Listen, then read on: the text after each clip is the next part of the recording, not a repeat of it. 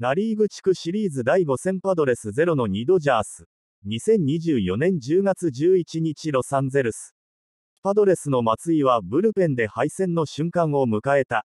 王手をかけてから連敗し、悔しい。ドジャースは、追い込まれてからの2勝。強かったということ、と脱帽。地区 S での登板機会は大敗した第4戦での一度のみ。